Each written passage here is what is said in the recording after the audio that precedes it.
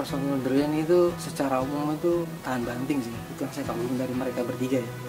Tapi kalau personal kalau Indra itu dia sangat semangat. Semangat menjalani apa pun yang berhubungan dengan Drain musikal maupun nggak musikal. Semangat banget pokoknya. Indra songwriter yang bagus. Sama ini. Uh, kalau dia ini biasanya dia mengorganize. Jadi Indra tuh sempat cerita dia. Dulu begitu kita putus kontrak sama label udah dia tuh kita mau ngapain ya? Kayak gitu. Makanya dia bangkit gitu. Waktu itu kita bangkit semua bangkit. Nah, Indra mulai ini kayak mulai sadar dia. Ini harus ada yang harus ada yang menghandle ini gitu. Jadi akhirnya dia menghandle di manajemen keuangan dia pegang gitu, -gitu. semua eh, dia mencoba mengatur itu. Ya bisa tapi agak keteteran. Karena baru kan dan dia jadi nggak bisa nulis lagu karena ngurusin band gitu. Nah itulah. Ya tapi asik Indra gitu. Kalau mereka semua itu yang aku kagumi um, tipikal pekerja keras semua. Indra Iwan Aang. Yang dikagumi dari seorang Iwan Tanda. Hmm. Iwan itu orangnya sangat sabar dalam membimbing teman-temannya termasuk saya. Dari zaman dulu sebelum ada The Rain waktu saya masih eh, cuma jadi murid gitarnya Iwan itu sabar banget. Karena saya pun tahu bahwa perkembangan saya main gitar tuh dulu wah pelan banget.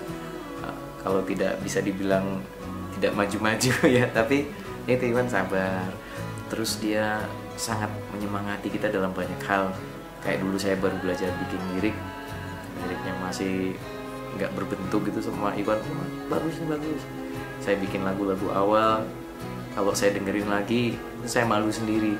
Tapi sama Iwan waktu itu oh ini potensial nih wah gitu gitulah jadi dia itu kayak master yudanya buat kita.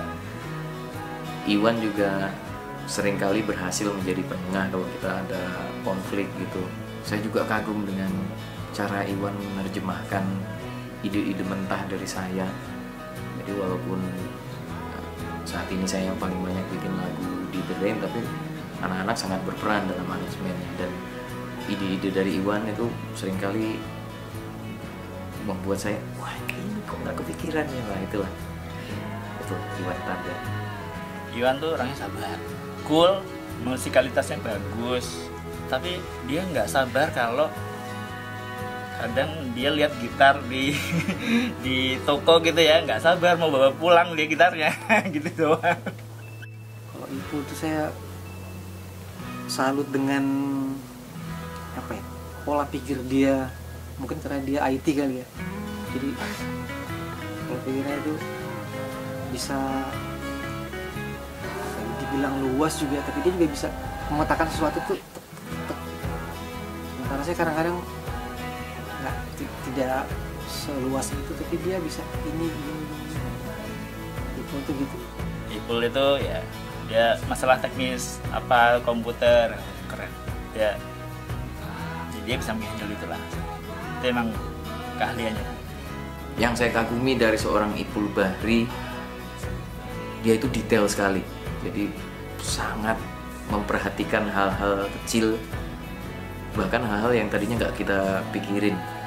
Makanya e, berguna ketika kita lagi brainstorming misalnya membahas e, konsep panggung misalnya atau membahas apa pun itu tahu-tahu ibu bisa nanyain hal yang oh iya nggak kepikiran sama yang lain gitu.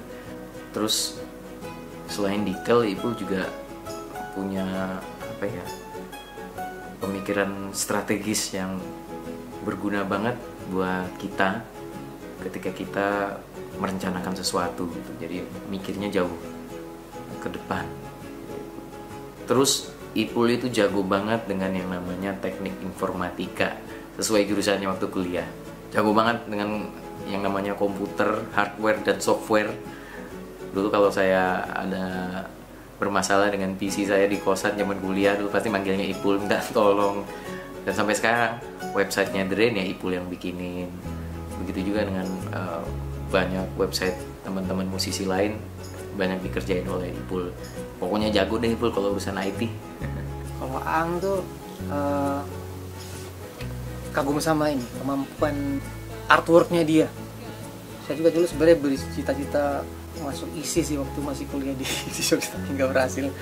Dia lulusan isi dan dia luar biasa lah kemampuan desain artworknya dia. Yang dikagumi dari seorang Aang Anggoro. Aang ini orangnya sangat visual. Pinter banget menerjemahkan kata-kata dalam bentuk gambar. Kebetulan memang beliau ini kuliahnya desain tapi desain interior sih. Nah di The Ring Aang sangat berjasa di urusan desain grafis. Jadi banyak banget artworknya kita itu yang dikerjakan oleh Aang. Dan saya kalau ngasih brief gitu. Saya uh, bikin coret-coretan pakai kata-kata gitu. Terus Aang yang menuangkan dalam bentuk artwork itu biasanya sesuai banget dengan yang saya bayangkan gitu. Selain itu Aang itu orangnya kartun banget. Ya, pokoknya oh, sama dia tuh baunya bercanda aja. Makanya mungkin kita akhirnya pernah bikin komik bareng komik Cihui anak band. Nah itu gitu tuh saya bikin ide ceritanya eh, saya kirimin ke Aang. Tahu-tahu Aang udah kirimin dalam bentuk uh, komik strip yang wah ya ini ini pas banget. Itu kartun.